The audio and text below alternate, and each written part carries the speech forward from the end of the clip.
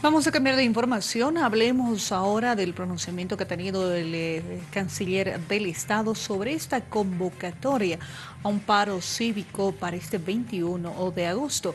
Eh, ¿Cómo califica esta convocatoria? Veamos.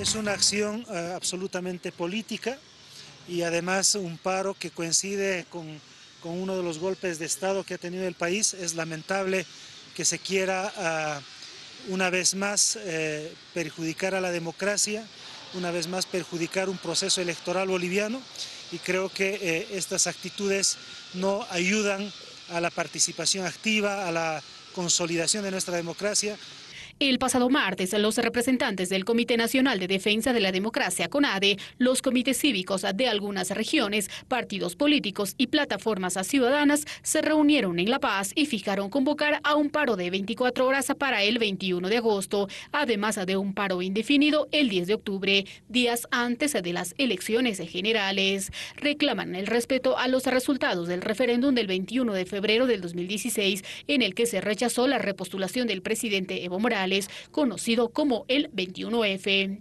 Nosotros apoyamos plenamente todas las determinaciones del CONADE, consideramos de que la voz del pueblo es la voz de Dios y entendemos de que si no escuchamos al pueblo, entonces de qué sirve una candidatura que no está acorde a las resoluciones que emiten estos sectores que en definitiva son la respuesta de la sociedad.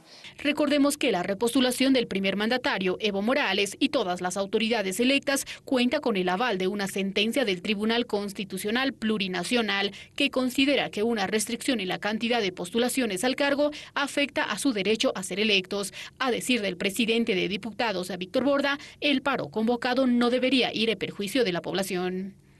Seguramente el pueblo boliviano en su madurez democrática va a rechazar estas actitudes. ¿no?